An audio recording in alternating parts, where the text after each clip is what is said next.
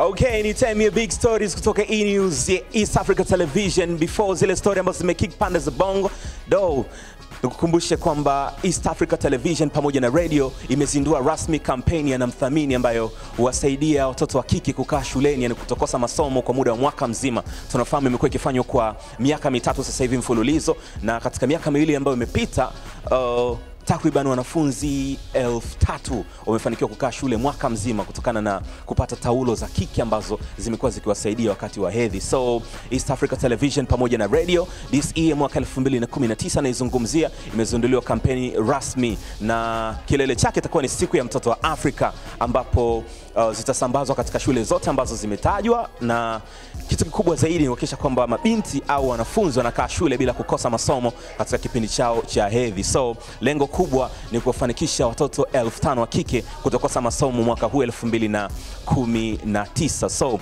unaweza kuchangia kwa njia zifuatazo. Unaweza ukaleta pedi zako hapa Mikocheni industrial area ambapo ni East Africa Television pamoja na radio. Unaweza kaleta boxi zako package paid ambayo unahisi inaweza ikafaa katika uh, na mthamini, lakini pia unaweza ukachangia kupitia CRDB Bank kwa akaunti nambari uh, 01 50 43 19 38 20 sifuri. Jina la account ni namthamini, lakini pia unaweza ukachangia kupitia Airtel Money kwa nambari ya simu ambayo ni 0787 63 33 13 jina ni East Africa Television. So unaweza ukafanya kwa kutumia hizo njia tatu, yani kuleta paid hapa East Africa Television pamoja na radio uh, Mikocheni, maeneo ya viwanda, lakini pia unaweza kutumia hiyo nambari ya Airtel Money pamoja na hiyo account number ya CRDB Bank.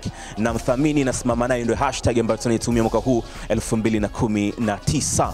Moja ya story ambayo tunakudondoshea leo kutoka E News ni kwamba Zest ni producer ambaye tunafahamu amefanya vitu vingi sana. So ni mwandishi pia mzuri wa Bongo Flava na amefanya kazi na Amba Lulu jini Kisirani. Nakumbuka hii ni single ambayo ili hit sana wakati imetoka na nini, watakuwa wanazungumza vitu tofauti tofauti. So baada ya kufanya kazi kwenye uandishi na kuproduce, Zest ameonekana kuwa na tofauti na uh, Amba Lulu. Watakuwa wanajiuliza je, yaliingizwa mapenzi katikati ikapelekea beef kati ya Ambalulu pamoja na Zest, yani Zest kama litekenya hivi ili mchongo kae sawa, afu eh, hakukaa sawa, kwa ikatokea beef, yani wakawa hawaelewani. Issue ilikuwa vipi? Mapenzi yaliingia katikati au issue ilikuwaje kuaje mpaka kutofanya kazi pamoja tena kama jinsi ambavyo ilikuwa kwenye jini Kisirani na vingine ambavyo si hatuvifahamu. So Zest amezungumza na E News kuhusiana na hii issue. Machizi tumechoka na sasa tuna force.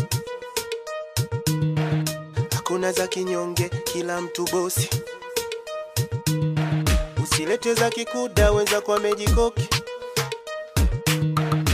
Watu wanalewa chini mipango ya noti. sidhani kama ana, ana, nani ana nafasi sana kwenye, kwenye, kwenye, kwenye kazi zangu mimi hapa Mm, ndio maana unaona anaweza akasimama zesti kama zesti Nashelewa ni wakati wa zesti sio wakati wa ambalulu yaani wakati wa ambalulu ilikuwa ni wakati wake ushapita sasa huu muda ni wakati wa zesti yeah. Ukisema wakati wa Mbalulu umepita una- unakuwa unamaanisha nini hapa? namaanisha kama hivyo wakati wake ambao tulikuwa tunatakiwa tufanye kazi ambao tumefanya kazi ushapita sasa ni wakati wa zesti zesti ndio natakiwa aonekane yeah. na, nafikiri yani kitu kimoja ambacho watu wanatakiwa waelewe ilikuwa ni sehemu ya msaada. Yani kumsaidia mtu tu. Unajua haya maisha yapo afu mimi nimeshasaidia watu wengi sana. Na, kasa, na kawaida kusaidia watu napenda kusaidia watu ila nikishafikia hatua fulani kwamba nimeshamsaidia mtu inatosha. Na kwa hiyo imetosha. Kwa hiyo mimi nimeona tu kwamba ile- ule msaada wangu umefikia pale umetosha. Basi ni wakati wangu mimi binafsi. Yaani bebe ya kawaida sana. Ni mimi silukangi na bebe za kawaida kihivo. Mbalulu ni bebe ya kawaida. Ah, kwangu kwa upande wangu mimi ni ya kawaida sana. Yaani si, sinaga kawaida hiyo. Yaani kiukweli naomba tu niwe mwazi kwenye hilo. Yani bwana sio yani sio type yangu. Umeshaelewa kila mtu unajua na type zake. Kwa hiyo mimi ndio maana nasema ni ya kawaida. Ni bebe ya kawaida sana ni, yani mimi naona kama ni bebe moja cheap sana. Kwangu mimi yani kunipa mimi hapa kuniweka mimi mnyamwezi kama mimi unaniua. Unanimaliza. Kiukweli Hatari sana. Ambaruru popote ulipo, nadhani utakuwa unabidi ujitafutie sehemu nyingine ya kujiweka, na ndio maana mama kama amekata mguu hapo, kama unajua raundi hii na- nashuhudia kuona kwamba wanaume wanapiga vidochi wanawake. Raundi ile nilikuwa nashuhudia wanawake wanapiga sana vidochi wanaume. Mchezo umebadilika sasa hivi. Mchezo umebadilika, unajua kila mtu na, na, na mitazamo yake.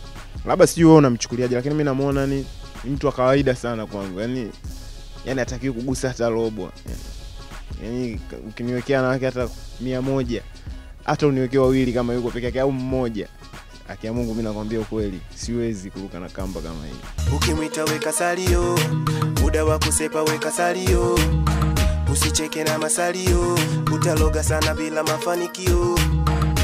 Macho kwenye salio hata nikilala na utasalio.